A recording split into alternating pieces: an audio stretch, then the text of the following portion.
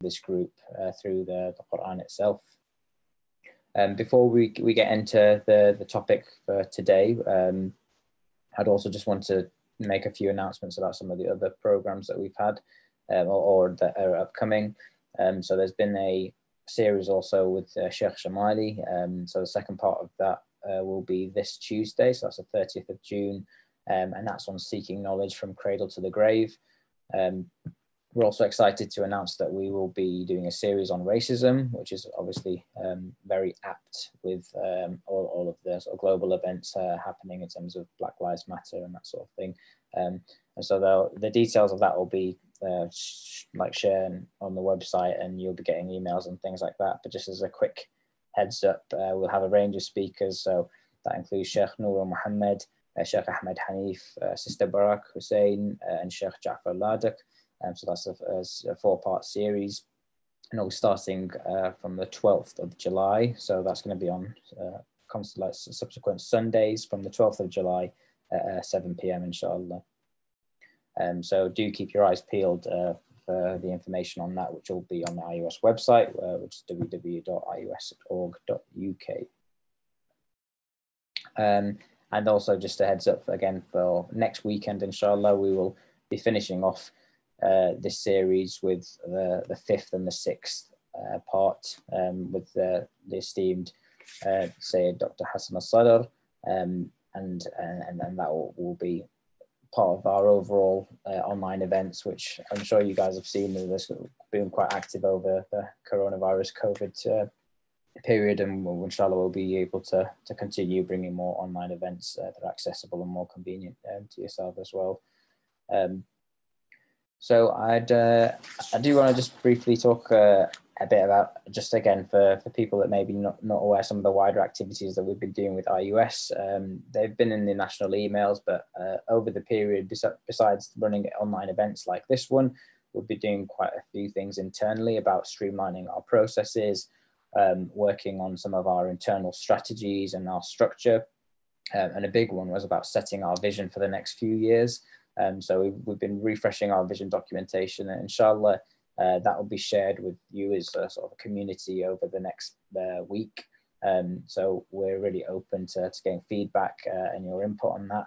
But equally, in, in, terms of us all trying to serve to empower the Muslim youth of the UK um, as a vision for IUS, uh, we're also looking for volunteers for people to come forward and help realise that vision. So more details to be shared, inshallah. Um, but I do hope to get some engagement uh, from yourselves on that. Um, and I'm sure you, you've probably heard before, but I'll just cover off uh, a quick bio for on Sayyid Hassan.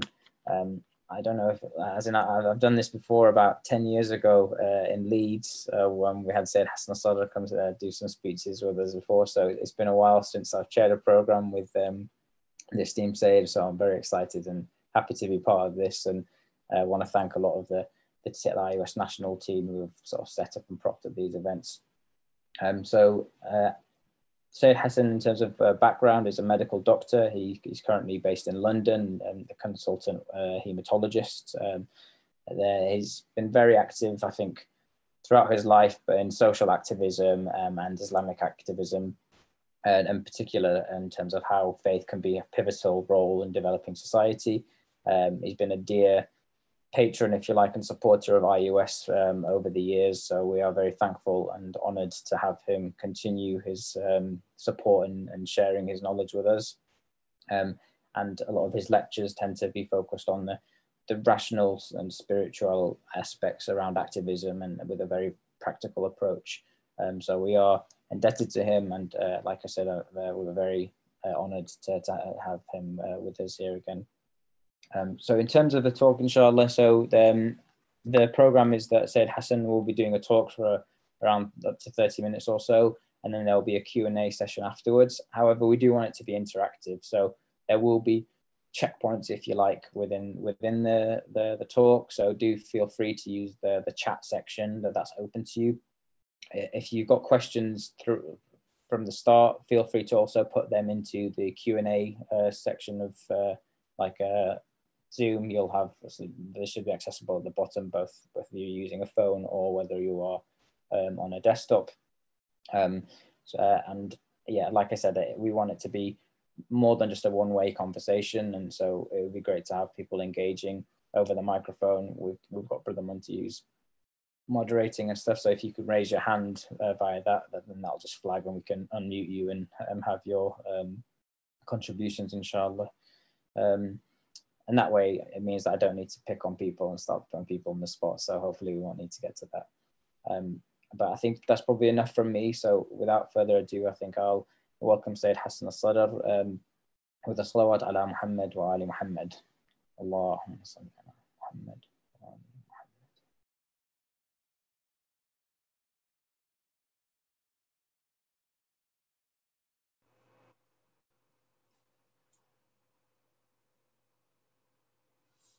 السلام عليكم ورحمة الله وبركاته.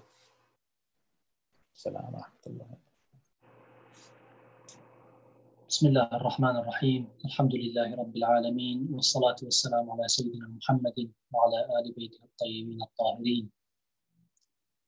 Thank you very much, my dear brother Ayman, for the introduction. And I am thankful and grateful to Allah subhanahu wa ta'ala who has given me another opportunity to be with this amazing organization, contributing a very small contribution to the amazing work that the Islamic Unity Society has done and will continue to do, inshallah. And one of its main activities is spreading knowledge, raising awareness, and empowering Muslims with their faith, with the tools that they need to progress in life, inshallah. So thank you very much for this opportunity. I hope my voice is clear and the video is working and you can see the presentation. All perfect. Thank you very much. Yeah, we can see um, I'm Nawar, mashallah. Allah, thank you very much. And thanks for the uh, encouragement from the uh, participants to interrupt me uh, whenever they uh, they find it necessary to clarify um, the points, to hear from them, to have their, their viewpoints heard, inshallah, to enrich the discussion. I would like to, to take a few moments to pray for the success of this organization, for the tawfiq and the well-being of the participants, and to ask Allah subhanahu wa ta'ala for his forgiveness for all our sins, all our shortcomings, and to take these very, very small steps that we take towards Him, to take it as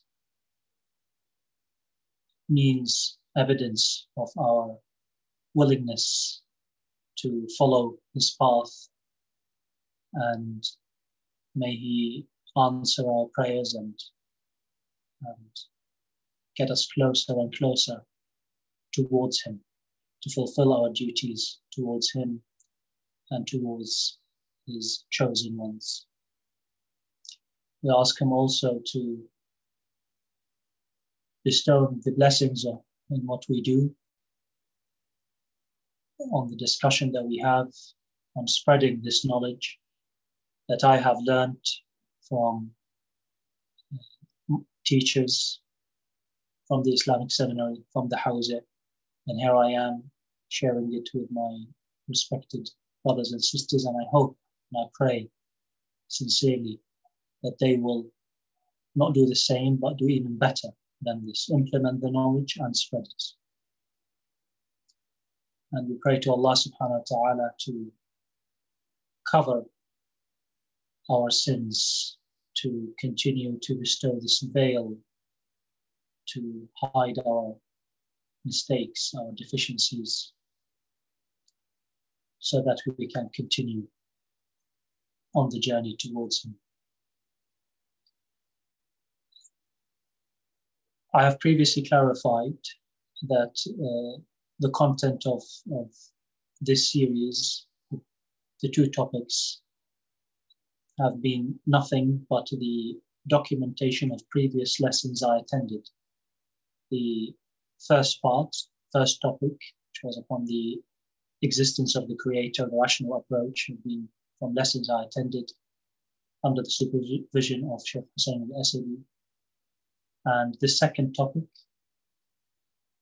the special status for special people from the Quran, are lessons I attended under the supervision of Sayyid Sami Badri. We don't need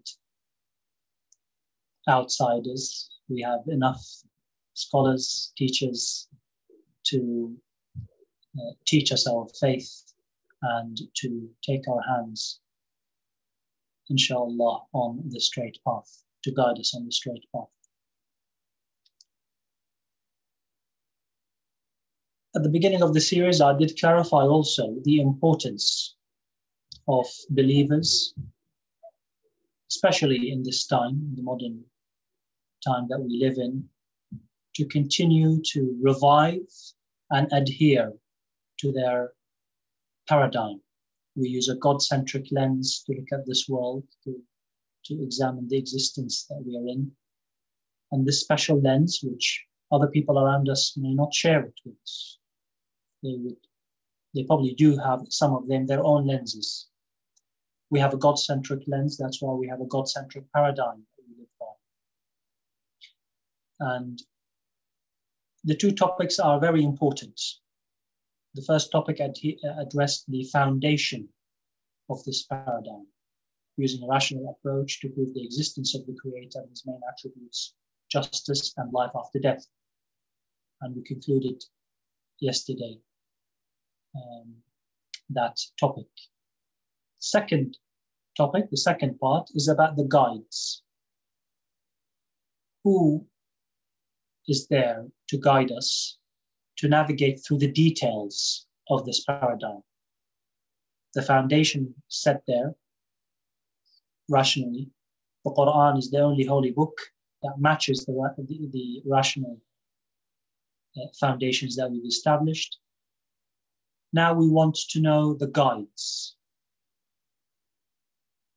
clearly the Prophet of Islam, sallallahu alayhi wa the mercy to mankind, was the last messenger, the final messenger.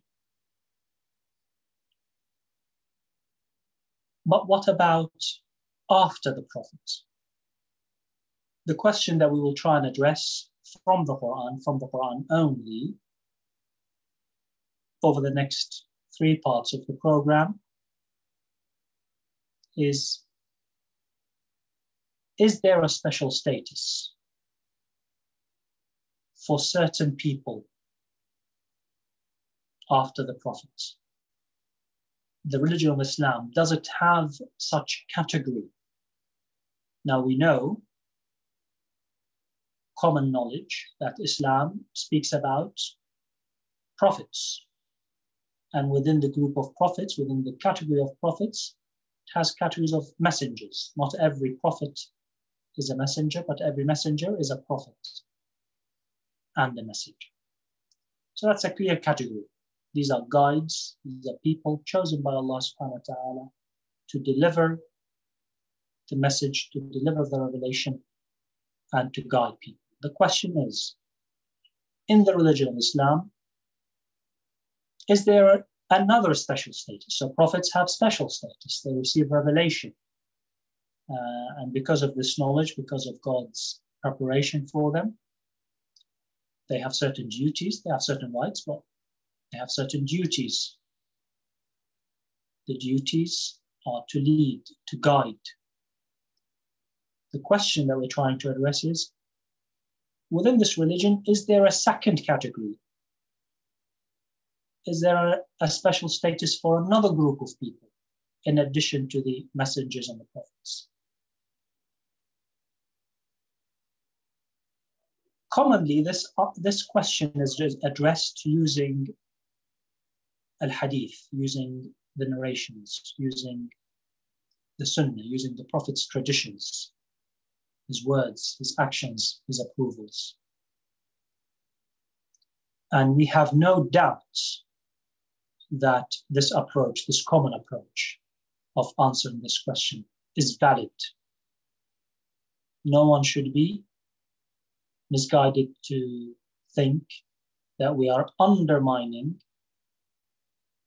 using the sunnah, the traditions of the Prophet, the ahadith to answer the question. We're not doing that at all. We're complementing. We're complementing the approach that people do take. Using the narrations will lead you to the certainty that yes, within the religion of Islam, there is such a, a category, there is a special st- status for certain people after the Prophet.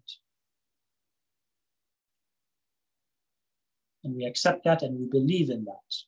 But to complement the certainty, we are using the Quran and the Quran alone, only to highlight to people the importance of such status. Only to demonstrate to people that this pillar within our faith, this category of people do exist, not only in the narrations, but it, it, they do also exist within the Holy Book. People haven't been aware of these verses, maybe. Um, it doesn't affect the, the reality.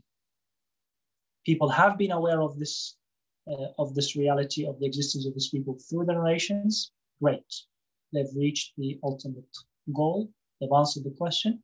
However, we want to complement that conclusion, complement that certainty with examining the Quran and the Quran alone. And I've been careful in my choice of words um, I haven't really spoken, haven't really mentioned the common words that are used when this topic is discussed. Maybe the audience uh, could help me at this uh, moment in time. What are the common words when we talk about, you know, those people? The, the common discussion between Muslims. You know, he's probably talking about the imams, the khulafa, the successors. On purpose, I haven't used these words. Why? Because I want to highlight to you, um, starting from the Quran, what conclusions can we make even before we get to uh, these titles of khulafa and of imams. Uh, the Quran uh, uses slight different terminology, different attributes, different descriptions. And please, again, just like uh, our respected chairman uh, clarify, please stop me at any point if something is not clear or if you want to you know, have a, a comment or a, or, a, or a point to make. The Quran has used certain vocabulary when he talks about those people, and you will you will see how you know, this is revelation. You see how, how careful the choice of words and how each word leads you to to know a trait, a description of those people. Very, very beautiful description. Um, the second reason why I haven't mentioned the words imma or khulafa is because commonly, commonly people have an, have, have an association that they make with this topic. They think it's politics. They think people who address this issue are talking about political struggle. You know, the word Khalifa or Imam are commonly uh, understood as you know, political terms, political positions. Indeed, one of the duties of those uh, selected uh, group of people was to succeed the Prophet politically. But that's not the whole story. That's not, you know, their ultimate uh, role. If we think of their ultimate role as being mainly or purely political, then many Muslims would find this discussion not so, not so relevant to modern world? Okay, so maybe they're talking about a political issue that, you know, took place 1,400 years ago. Why is this relevant now? Can't we face, can't, can't we focus on the challenges that we're facing today? So specifically, I chose not to use these words, even though we are talking about this group of people, this uh, respected group of people, uh, is to take people, just to bring people back to the reality, to their to their special status in accordance with the Quran and the politics and political duties and political successorship of the Prophet is just one element, one aspect of their duties. Their main role is religious guidance. And our religion encompasses everything. Politics is a part, is part of it. But when there is, you know, there isn't public support, the prophet or the messenger can't exercise his duties politically, that doesn't take anything away from him. It's his right, it's the duty of the people to support him politically to implement change. But if they don't, if people don't fulfill their duties, and that divinely chosen man, prophet, the messenger, or the imam, uh, has his other role to play. Obviously the people have not fulfilled their duties, but he still has a role to guide people. So it's guidance, it's what we need today, it's details, it's answers to our questions, questions that, that we need so, so dearly today. Questions about how do we fix this world? What are the answers to our problems? Do we get together as people and and try and form political entities and form global institutions, United Nations. The United Nations form different bodies and different categories. And, and what do we do then? How do we solve our problems? Has the world, the current world order, the system that we've worked so hard to implement, you know, the accumulation of experience of generations till the events of the Second World War when this current world order started to shape, to take shape. Have we succeeded? Are we bridging the gap between the rich and the poor using the current system? Are we helping countries or are we putting them more and more into debt? Are we spreading education? Are we fighting the disease in the right way? When there is a pandemic, a global pandemic, are we working together together to face this, or are we as nations, you know, stealing from each other? What are the answers of our, to our problems? We need answers. We've tried being self centric, person centric, and we've failed. We have definitely failed.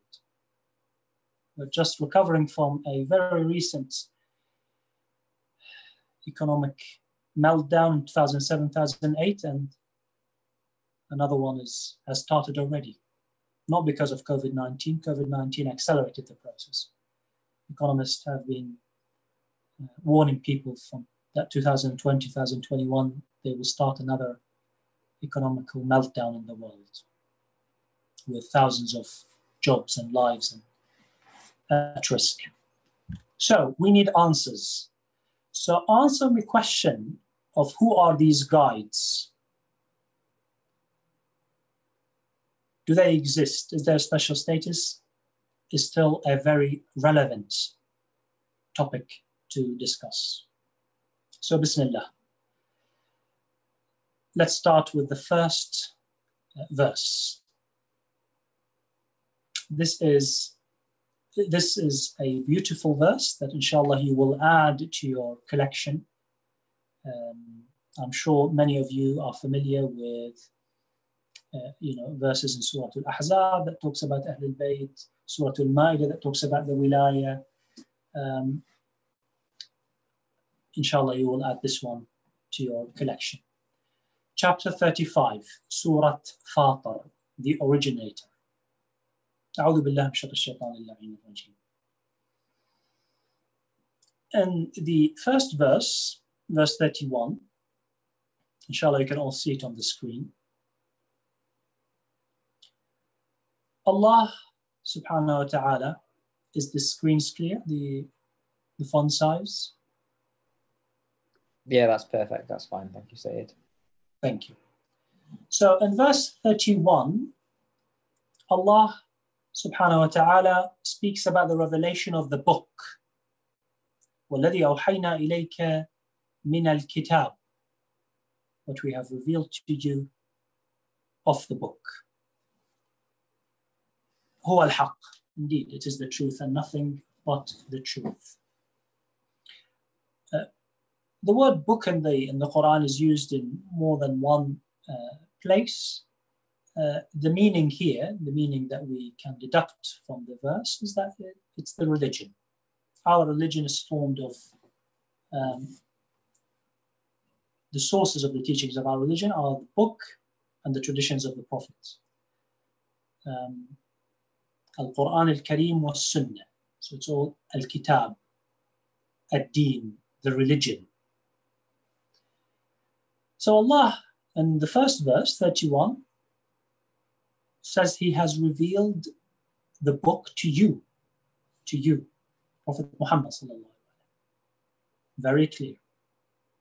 And if someone has a different understanding, please share it with, with us examine the second verse, verse 32, and I have just underlined the important descriptions. Allah then says, Thumma. So after we have revealed the book to you, revealed the religion to you, and it is the truth, then. So this is a process after the revelation to the Prophet. So the Prophet is the Prophet, the messenger, and then after we have revealed the whole religion to you, or Prophet Muhammad, then another process took place. Awrathna. Wiratha is inherited, inheritance. After we have revealed the religion to you, we have given the book, the religion. We have given the book as inheritance. Inheritance. Something that is given exclusively to a group of people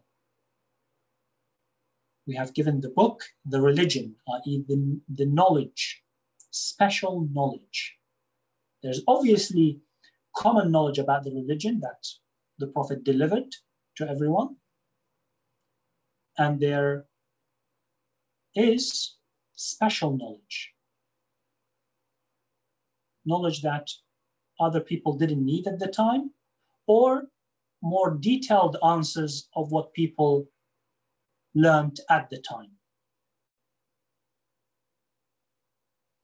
Ultimately, it is special knowledge of the religion, exclusive knowledge. It was given as inheritance, wiratha. It was given as inheritance to the chosen amongst our servants. Thumma, after the revelation. Thumma, this is within the religion of Islam. The book, the religion, special knowledge was given as inheritance to a chosen group of people. Not just chosen, istifa. You know, istifa. Amongst our servants.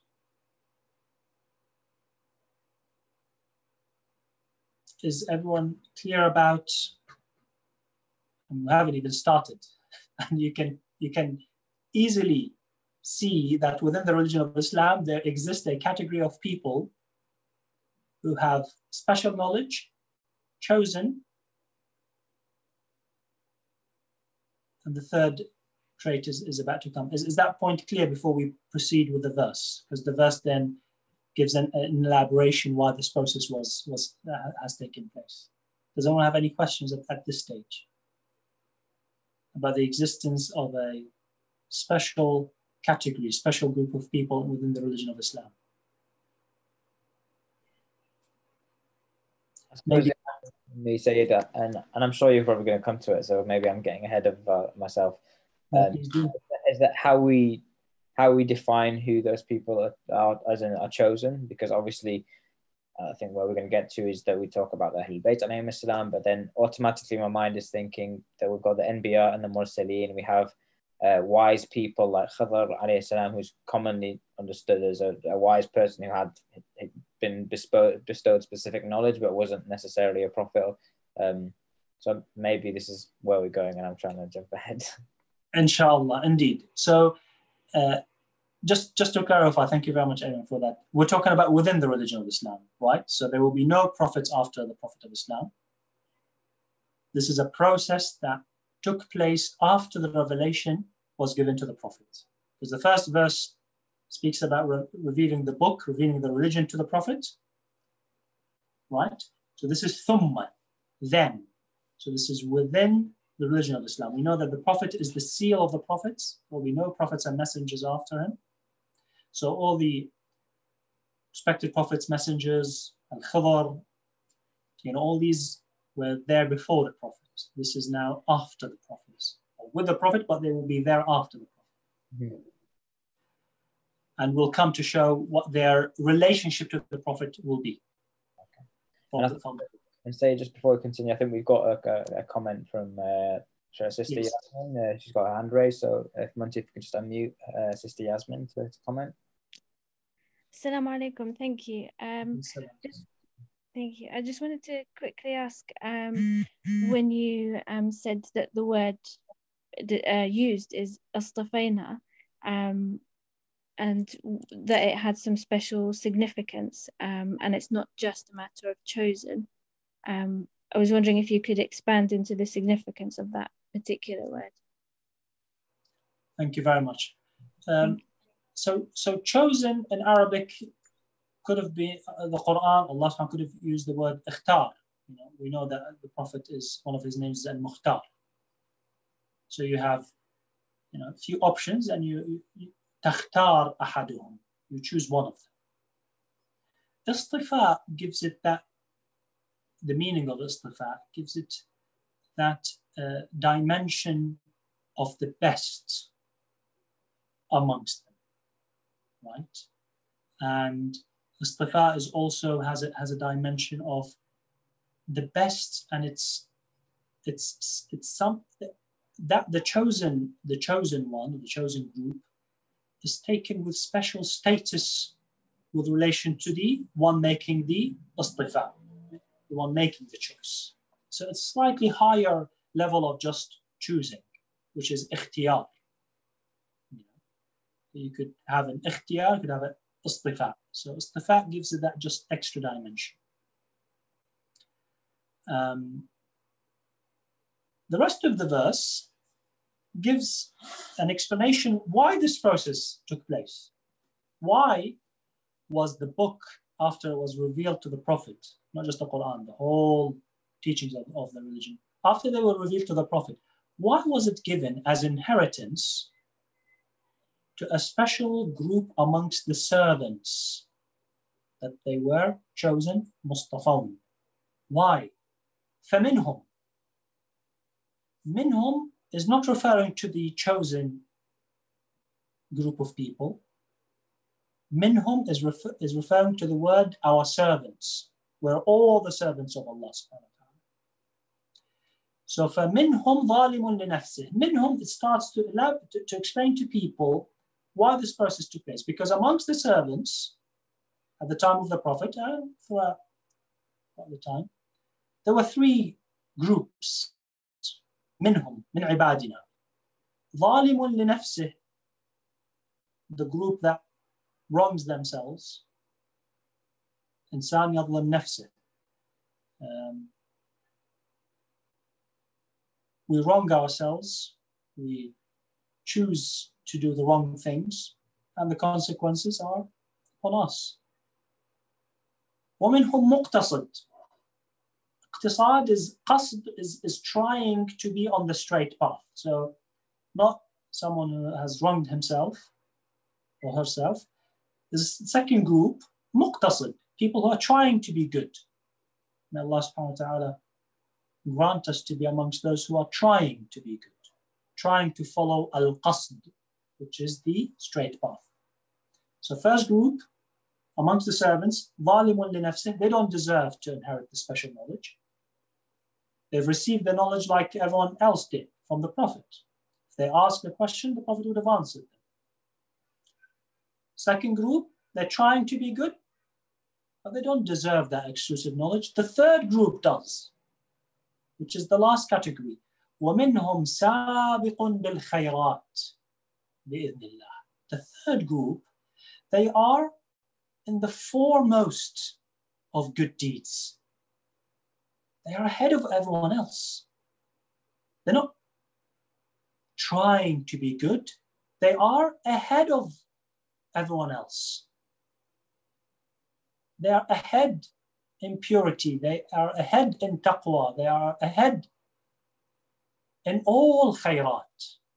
They're not in that process of, you know, like me, one day I receive a strong reminder I'm on the straight path. Spiritually, I'm elevated. The other day, I follow my desires. I surrender my will to the to the nafs that's amara bisu, to iblis, you know, trying. No, they are there ahead of everyone else. So the explanation of why the book was given as inheritance to a special category is because some are zalimin anfusihim, some are trying to be good, but the third group, the third category, the purified ones, right? The purified ones, those who are, you know, they're there. They're not in the process of struggle. They are ahead of everyone else. وذلك هو الفضل الكبير. This is the great fadl from Allah subhanahu wa ta'ala. Greatest blessing. So from this verse, from the two verses, especially verse number 32, we can conclude that after the Prophet of Islam, a group of people, we don't know who they are yet, right?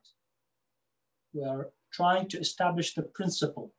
Is there a category within Islam, within this religion, just like we know about prophets and messengers, we know about angels who have certain duties. One of them is to have the revelation communicated from Allah to the prophets, to the messengers. We have all these categories. Is there another category now from the Quran of inheritors? Remember the first slide, or when you receive the, the invitation to join this program, the inheritors, al-warithin. Is there a group of inheritors who have inherited special knowledge about this religion? Obviously chosen by Allah and purified. They've been, there was istifa that took place. They were chosen because they were the best they're not struggling. They're not struggling. They're trying to be good. They are the best. So there is such a category. It does exist. Any Muslim who examines the Quran carefully should be asking himself or herself the question if this group of people do exist and they have access to special knowledge, they're purified, they're chosen, who are they? Who are they? I need to learn from those who had access to special knowledge. They have inherited the teachings of the Prophet. They were obviously the Prophet taught everyone as much as they wanted to, to understand, to know about Islam, right? But we want more details. We want answers to our current challenges. Let's look for the inheritors, the chosen inheritors, the divinely chosen inheritors who are the foremost in all good deeds.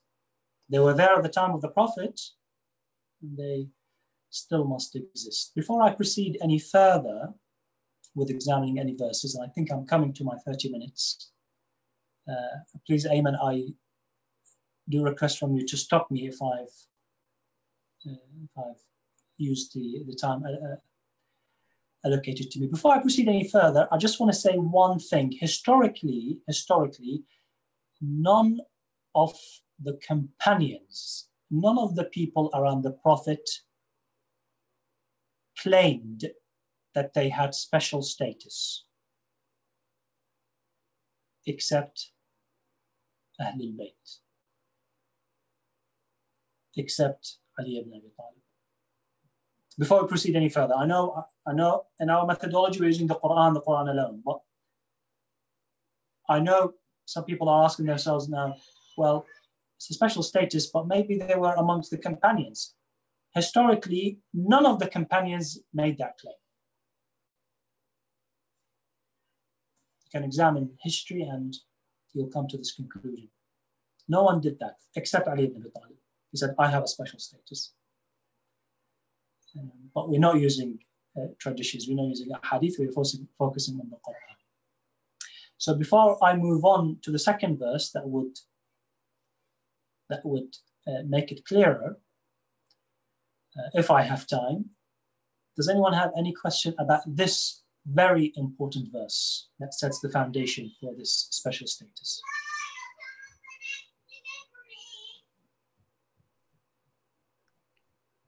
Any comments from anyone from the audience?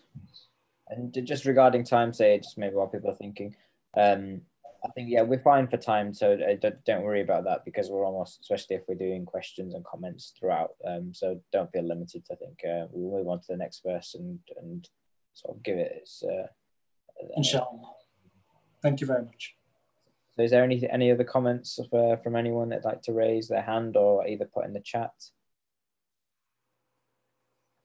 So, reading this verse now carefully, examining it, everyone believes that there is a category within the religion of Islam that after the Prophet there was a divinely chosen group of inheritors who inherited the knowledge of the Prophet. That's the deen. Yeah? Okay.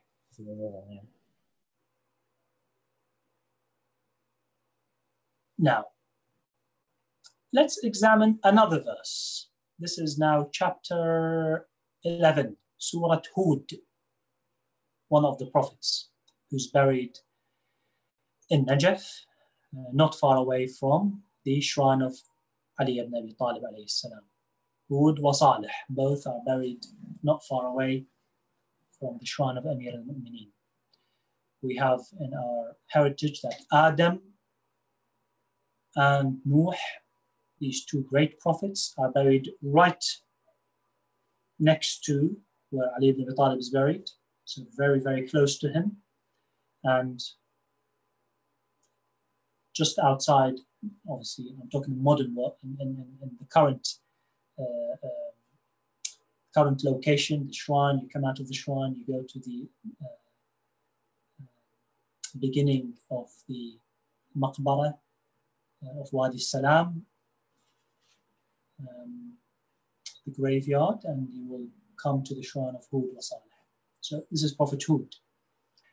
So Surah Hud, chapter 11, verse 17.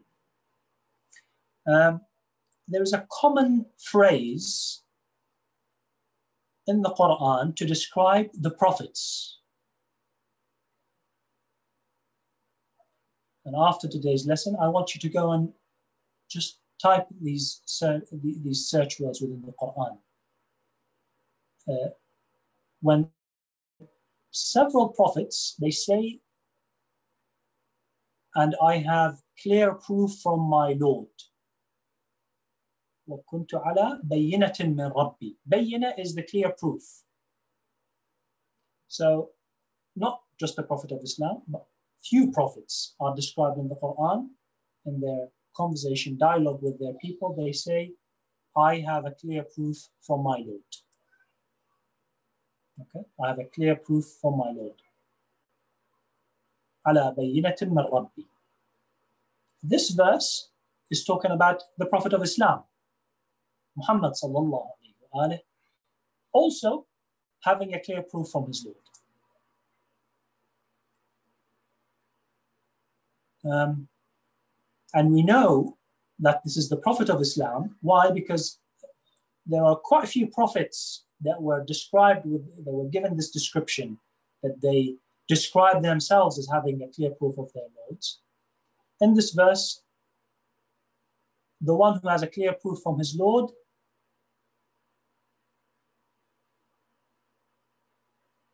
lived after Musa. So I'm not talking about the prophets before Musa because it says, وَمِن قَبْلِهِ كِتَابُ مُوسَى. So this one, this prophet who has the clear proof from his Lord, is a prophet that lived after Musa. Okay? Um, and it's the prophet of Islam because the, the warning that um, the end of the verse contains for those who don't believe in him are, are clearly stated there. ومن يكفر به من الأحزاب فالنار موعده. Whoever disbelieves in him, disbelieves as seeing the truth and rejects it, hides it, فالنار موعده. Okay?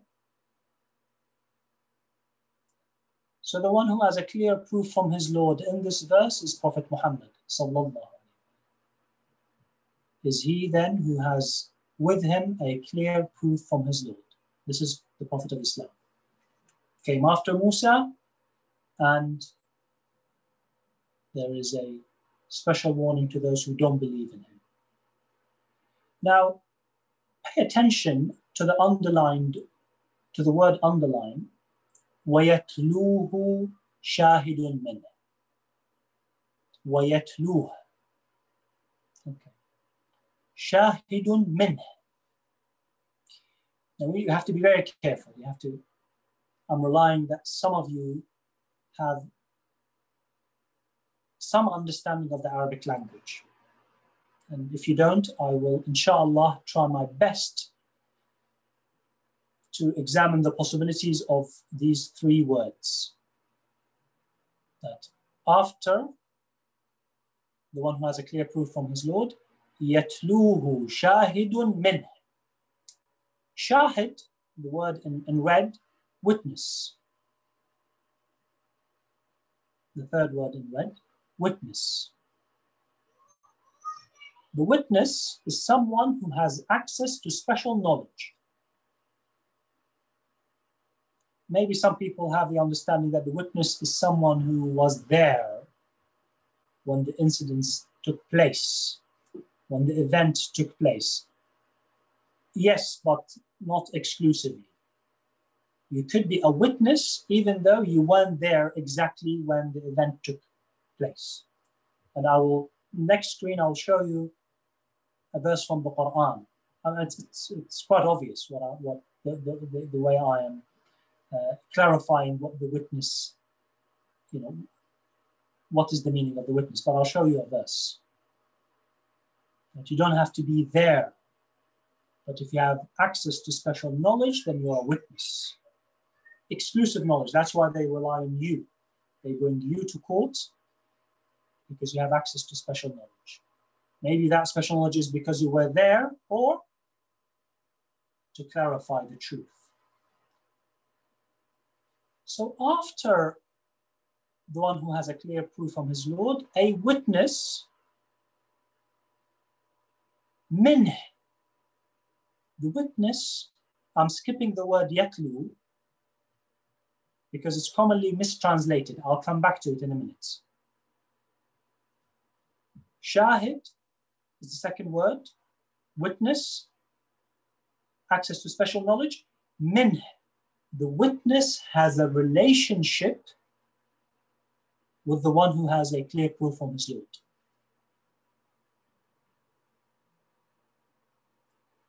Min is from him. Min from him. The shahid, the witness, is from the one who has a clear proof from his Lord. There is a special relationship between the witness and the one who has clear proof from his Lord. He is from him. Now let's go back to the first word, which is commonly mistranslated, yatluh. It's commonly, commonly mistranslated, I've put it in italic there.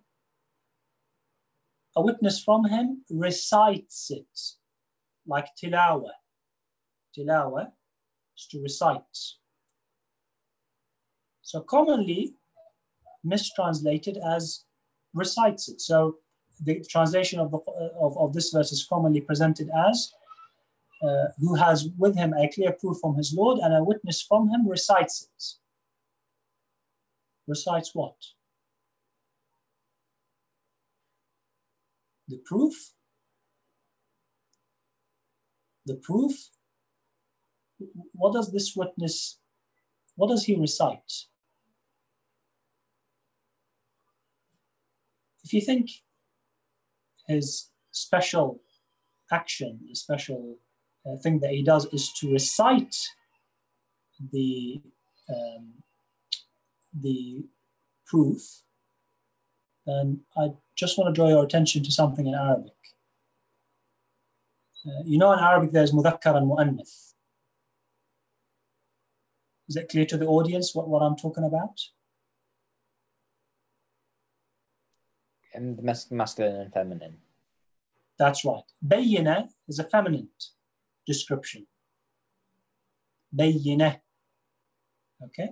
So if the if the witness, if the correct understanding of the word yatlu is to recite it, it should have been should have been yatluha.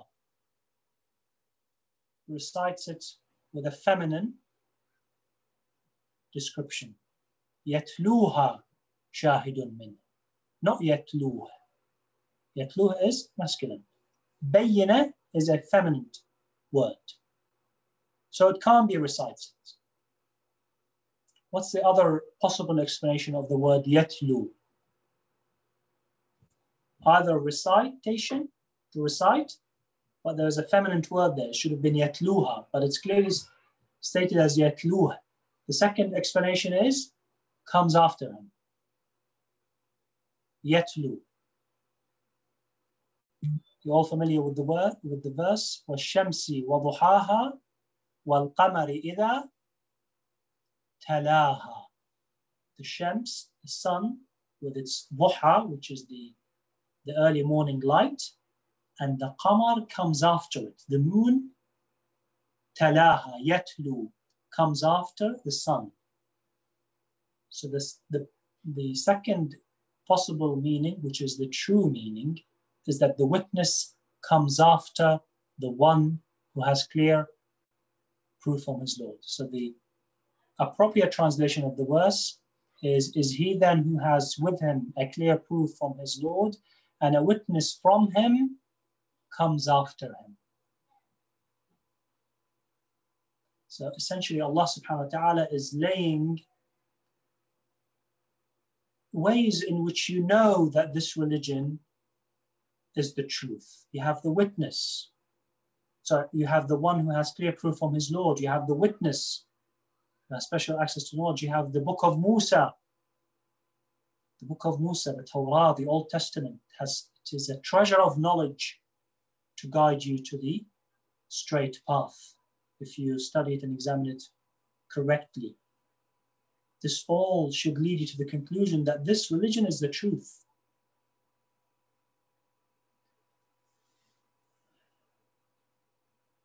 So now we have an elaboration to build on from the previous verse that